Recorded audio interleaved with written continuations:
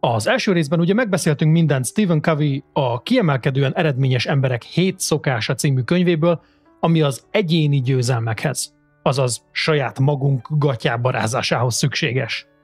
És a sorrend nem véletlen. Egyéni győzelem nélkül nincs közös győzelem. Amíg a személyes függetlenséget el nem érjük, addig legfeljebb a negatív kicsengésű függés lehet terítéken.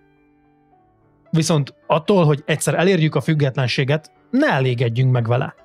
Lépjünk inkább tovább a sokkal pozitívabb hangzású egymásra utaltság felé.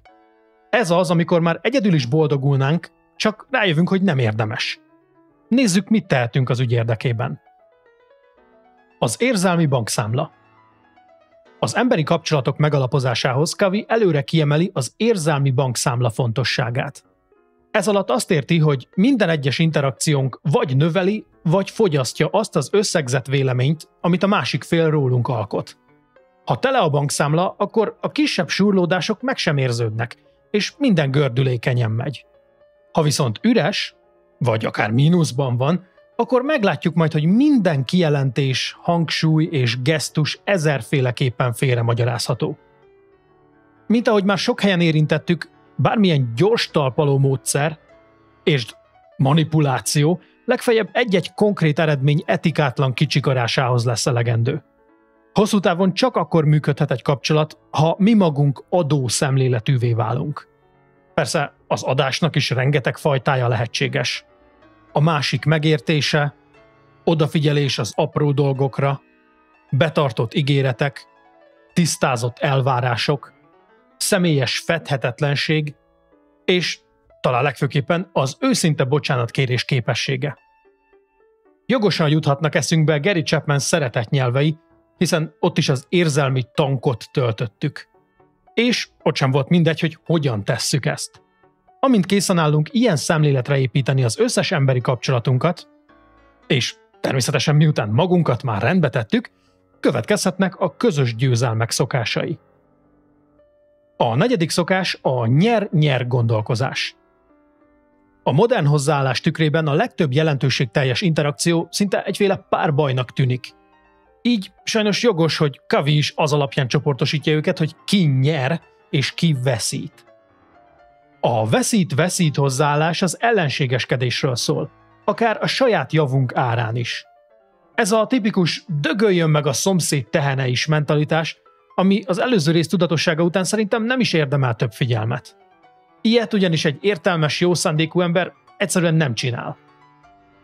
A következő a nyer-veszít szemlélet, ami azt a nézetet erősíti, hogy az értékek nem bennünk, hanem rajtunk kívül vannak hogy csak akkor lehetünk elég jók, ha jobbak vagyunk, mint a konkurencia. A legtöbbünknek ez az alapbeállítás, és a társadalom is eléggé ezt súlykolja belénk. A veszít-nyer hozzáállásnál kb. ugyanígy látjuk a dolgokat, csak még a versenybe sem megyünk bele, hanem inkább önként áldozzuk fel magunkat. Egy kötélhúzásos hasonlattal élve nem csak nem húzzuk a kötelet, de még sétálunk is a másik irányába. A túlzott törtetés és a túlzott engedékenység végletei között könnyű ingázni, de, mint mindjárt látni fogjuk, lehet ezt máshogy is. Létezik még a nyer szemlélet, amikor a másik fél egyszerűen nem számít. Nem is mindig van másik fél. A lényeg, hogy én nyerjek. Mások gondjaival meg foglalkozzanak mások. Ez annyiban tekinthető előrelépésnek, hogy már a veszteségre legalább nem fókuszálunk de miért is ne fókuszálhatnánk arra, hogy a másik is nyerjen? És itt lép színre a nyer-nyer szemléletmód. Itt végre képesek vagyunk elhinni, hogy mindenkinek juthat elég.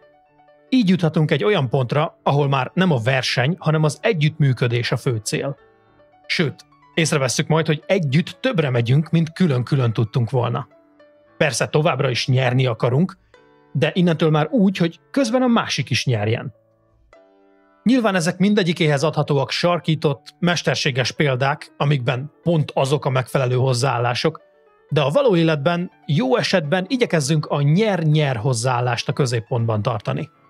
Pontosabban legyen nyer-nyer, különben nincs egyesség. Ha nem sikerül a kompromisszum, akkor az elkerülhetetlen neheztelés mellett sokszor már belefogni sincs értelme.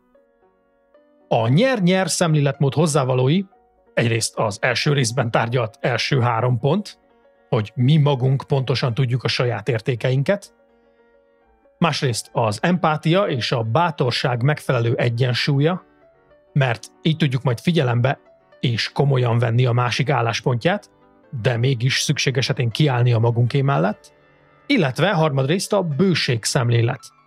Vagyis, hogy jut mindenkinek. Az életre nem szabad zéró összegű játékként tekinteni.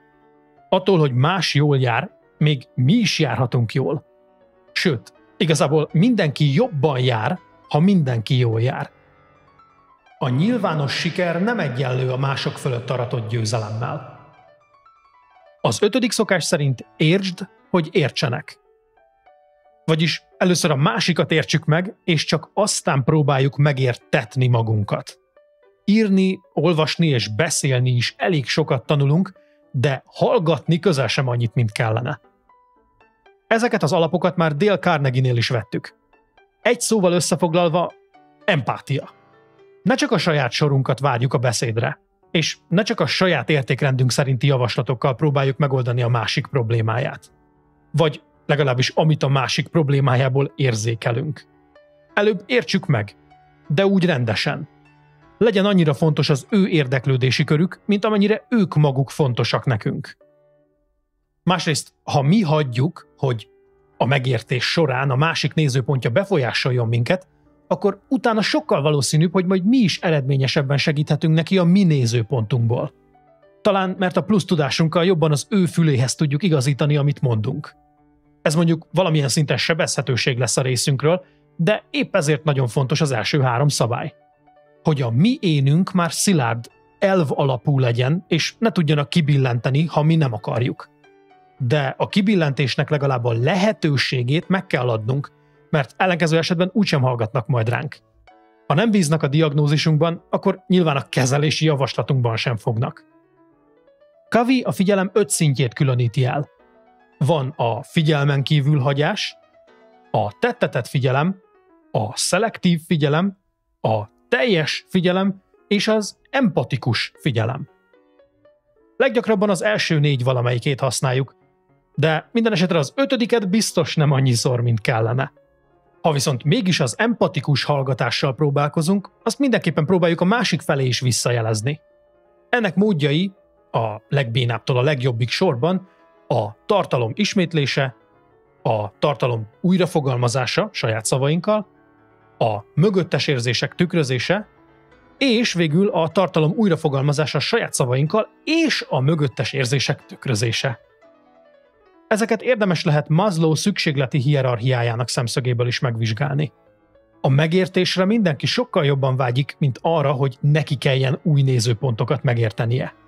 Kb. mintha éhesek lennénk ugyan, de közben épp nem kapunk levegőt. Egyből szarnánk a kajára, garantálom. Viszont, ha már egyszer újra adott az oxigén, onnantól megint probléma lehetne az éjség. Ehhez hasonlóan először értsük meg a másikat, és a megértettség igényének kielégülése után már talán jobban nyitott lesz ő is a konkrét javaslatainkra. A problémák, a körülmények, vagy mások viselkedése, ha bár az érdeklődési körünkben vannak nyilván, de a befolyásolási körünkön kívül esnek. Az viszont, hogy először minél jobban megérteni próbáljuk a másikat, az mindig a befolyásolási körünk kellős közepén található. Szóval tanuljuk meg félretenni a saját szemüvegünket – vagyis a saját látásmódunkat, a saját önéletrajzunkat, a saját paradigmáinkat, és próbáljuk egy pillanatra a másik szemszögéből látni a világot. Mindez sok munkának hangozhat, de a befektetés kamatostul megtérül. Egy csomó problémának egyszerűen alkalma sem lesz kialakulni és elmérgesedni odáig, ahol már tripla ennyi energiával sem lenne megoldható. A hatodik szokás, hogy használd ki a szinergiákat. A szinergia az összes többi aranyszabály próbája és együttes megnyilvánulási formája. A szinergia igazából csak egy szép csengésű idegen szó arra, hogy az egész több, mint a részei összege.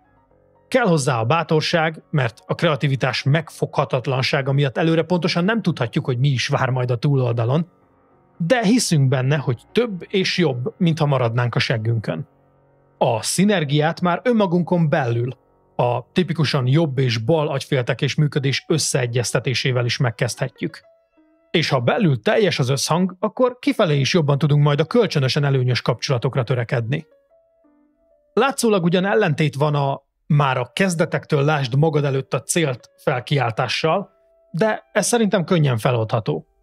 Mert ha bár a szinergiát kihasználó helyzetekben is van valami végcél, amit magunk előtt látunk, az alapelvek alkalmazásával valami olyan szintű jót is ki fogunk tudni hozni ebből az egészből, ami az elején még szinte elképzelhetetlen lett volna. Szóval ne legyünk céltalanok, de aztán ne lepődjünk meg, ha még jobban sül el. A kapcsolat bizalmi szintje egyenesen arányos a szinergia lehetőségével. Ha alacsony, akkor hamar védekezésbe fordulunk. Közepes szinten már kompromisszumkészebbek leszünk, magas szinten pedig elérhetjük, hogy az összeadott tudásunk valami még jobbat eredményezzen. Mert ilyenkor nyílunk meg igazán. És mert ilyenkor tiszteljük annyira a másikat, hogy a nézeteltérések esetében megértésre és nem vak meggyőzésre törekszünk. A különbségeket és nézeteltéréseket nem kerülni, hanem értékelni kell. Egy kiváló szemléltetéshez tudom ajánlani John Stuart Mill szólás szabadságos érvelését. De a lényeget pár szóban így foglalnám össze. Ne arra vágyjunk, hogy a másik is pont úgy lássa a világot, mint mi, hanem inkább arra, hogy a kettőnk nézőpontjából összegyúrhassunk egy harmadikat, ami mindkettőnk eredeti verziójánál hasznosabb. És különben is. Ha valakinek ugyanaz a véleménye, mint nekünk, akkor mi értelme egyáltalán beszélgetni vele? Csak olyat mondhat, amit már mi is tudunk, nem? Végül a hetedik szokás, hogy élezd meg a fűrészt. A hetedik szokás címét egy fakivágós tanmese ihlette. Alanyunk életlen fűrésszel vág egy fát, így már öt órája csinálja, még sincs közel a végéhez. De amikor azt javasolják neki, hogy talán meg kéne élezni a fűrészt, akkor szerinte arra nyilván nincs ideje, mert még ma ki kell vágnia a fát. Tekintve, hogy egy élesebb fűrésszel már eddig is végezhetett volna, jogosan mondhatjuk, hogy nem megélezni nincs ideje. Vagyis soha nem erüljünk bele annyira abba, amit csinálunk, hogy ne tudjunk azon gondolkozni, hogy hogyan kellene csinálnunk. Az első három szabály tehát lefektette, hogy magunknak hogyan legyünk urai. A második három pedig azt, hogy másokkal hogyan működhetünk együtt hatékonyabban. De mindez a sok energiabefektetés csak akkor lesz fenntartható, ha a hozzájuk kötődő fogadalmainkat rendszeresen megújítjuk a mindennapokban. Kavi szerint a következő négy területre érdemes figyelnünk. Egyrészt a fizikaira, ami az egyes szabályhoz különösen jó. Figyeljük, miket eszünk, mennyit pihenünk vagy lazítunk, hogyan mozgunk, stb. Az aktivitások terén vegyítsük az állóképességet, az erőt és a rugalmasságot fejlesztő gyakorlatokat. Ezzel a sok energia befektetéssel, látszólag ellentmondásos módon több energiához jutunk, ami az életünk más területeire is kihathat majd. Fejben pedig a saját proaktivitásunk tudatát erősítjük ezzel, mert a visszahúzó erők ellenére is második negyedes tevékenységeket végzünk. A fűrészes példához hasonlóan. Amilyen relatíve kis befektetés, és amekkora előnyt nyújt cserébe, inkább azt nem engedhetjük meg, hogy ne csináljuk. A második terület lelki, ami a kettes szabályhoz különösen jó. Vallási vagy spirituális szövegek böngészése, szép irodalmi és nem mindig csak ismeretterjesztő olvasás, a természet közelsége, kinek mi. És ide kapcsolódik persze a személyes küldetési nyilatkozatunk is. A lényeg, hogy újra és újra kapcsolatba kerüljünk a belső értékeinkkel és felfrissítsük őket. Ha kapcsolatba kerülünk a meghatározó középpontunkkal, akkor ez a kapcsolat védőernyőt tart minden más fölé.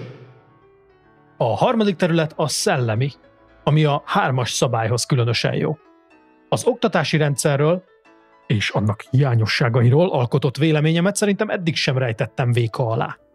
De az talán még ennél is szomorúbb, hogy az a relatíve kis mennyiségű igazi oktatás után maguktól ezt a vonalat már nagyon kevesen folytatják. Ezzel egy csomó képességük kiaknázatlanul marad. A szemléletmódjuk pedig megkövül. Ha mi, ezzel ellentétben minél több szemléletmóddal ismerkedünk, akkor annál szélesebb és általánosabb világképre tehetünk szert.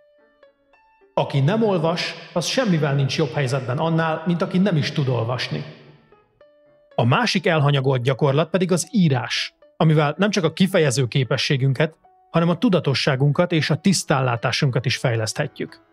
Vezessünk naplót, foglaljuk össze a gondolatainkat, és meglepő felismerésekre juthatunk. Az utolsó terület pedig a társas vagy érzelmi, ami nyilván a matárgyalt 4-es, 5-ös, 6-os szabályokhoz kiváló. Gyakoroljuk a mindennapi érintkezéseink során, hogy a másik szemszögét is figyelembe vesszük, és meg lesz a gyümölcse. Gyanúsan sokan jutnak arra a következtetésre, hogy valamilyen formában mások szolgálata a lényeg. Fontos, hogy ezekben is az egyensúlyra törekedjünk. Elvégre lelki értékek nélkül pénzt hajhászni például ugyanannyira hülyeség, mint tisztán lelki jó szándékból egy anyagilag fenntartatatlan vállalkozásba belekezdeni.